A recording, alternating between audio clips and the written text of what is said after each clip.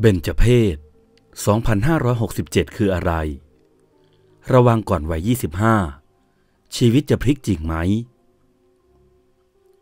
อายุ 25 ปี ไม่ใช่แค่เลขธรรมดา แต่เป็นวัยที่หลายคนเรียกขานว่า เบญจเพศ ช่วงหัวเลี้ยวหัวต่อของชีวิต ที่บางคน ก้าวขึ้นสู่จุดสูงสุด บางคนกลับเจออุปสรรคถาโถม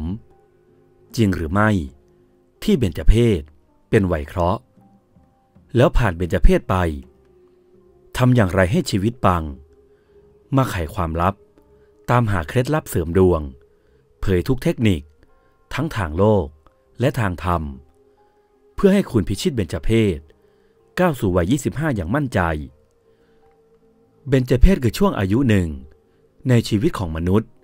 ที่เชื่อกันว่า เป็นช่วงหัวเลี้ยวหัวต่อ อาจพบเจอความเปลี่ยนแปลง และความท้าทายมากมาย โดยเฉพาะในความเชื่อของคนไทย ที่มักให้ความสำคัญกับช่วงอายุ 25 ปี ซึ่งเรียกว่า เบญจเพศแปลว่าห้ารอบ หมายถึงรอบอายุที่หารด้วย5ลงตัว เบญจเพศมาจากคำบาลี และสันสกิตว่า ปัญจวีสะหรือปัญจวิสุทธ์แปลว่า 25 สะท้อนช่วงวัยนี้ได้อย่างชัดเจน ความเชื่อเรื่องเบญจเพศ ช่วงหัวเลี้ยวหัวต่อ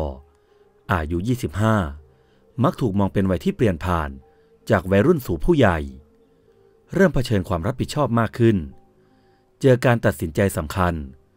อาจก่อให้เกิดความกังวล เครียด หรือรู้สึกไม่มั่นคงทำให้บางคนเชื่อมโยงกับเหตุการณ์ร้าย การโคจรของดวงดาว โหราศาสตร์ไทยเชื่อว่า ดาวเสาร์โคจรครบรอบ 7 ปี ส่งผลต่อดวงชะตา ในปีที่เสาร์เข้าสู่เรือนชะตา ก็คือช่วงเบญจเพศ อาจส่งผลให้การงาน คู่ชีวิต สุขภาพ ต้องเผชิญกับบททดสอบ กรรมเก่า บางความเชื่อ โยงเบญจเพศกับการชดใช้กรรม ที่เกิดจากการกระทำในอดีตชาติ ส่งผลให้ชีวิตช่วงนี้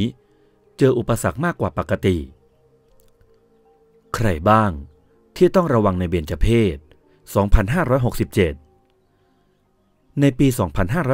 2567 คนที่ต้องระวังเป็นพิเศษ คือผู้ที่เกิดในปีพศ ที่ลงท้ายด้วยเลข 2 และ 8 ได้แก่ลงท้ายด้วยเลข 2 2562 2552 2542 2532 2522 2512 2502 2492 2482 2472 ลงท้ายด้วยเลข 8 ได้แก่ปี 2558 2548 2538 2528 2518 2508 2498 2488 2478 และ 2468 วัยเบญจเพศตามปีเกิดข้างต้น เป็นผู้ที่มีอายุ 5 ปี 9 15 19 25 29 35 39 45 49 55 59 65 69 75 79 85 89 95 และ 99 ปี โดยในปี 2567 ช่วงอายุนี้ จะชีวิตขึ้นสุดลงสุด ต้องระมัดระวังตัวเอง และมีสติให้มาก เรื่องที่ควรระวังในช่วงเบญจเพศ แม้จะเป็นความเชื่อ แต่อย่ามองข้ามว่า ในวัยเบญจเพศ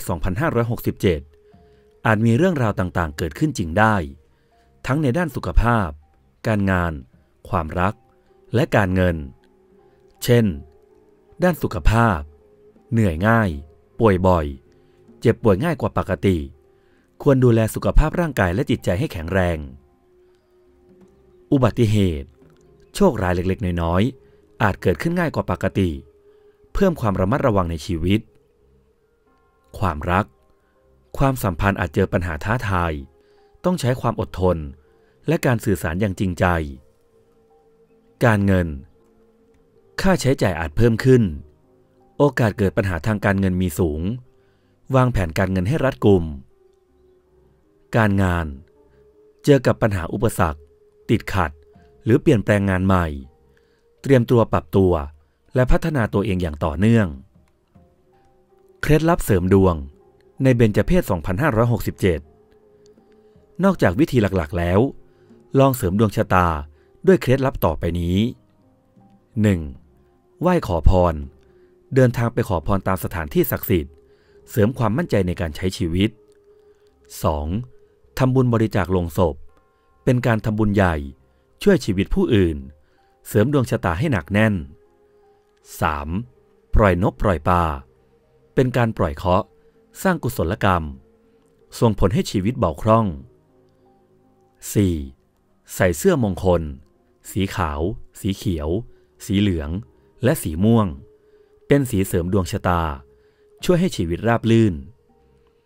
พกเครื่องรางนำโชค ดวงชะตาดีขึ้น มีพลังใจ สบายใจ แม้เป็นความเชื่อ แต่ก็ช่วยเสริมสร้างความมั่นคง บทสรุป เบญจเพศ 2567 ไม่ใช่เรื่องที่น่ากลัว แต่เป็นโอกาสทดสอบความแข็งแกร่ง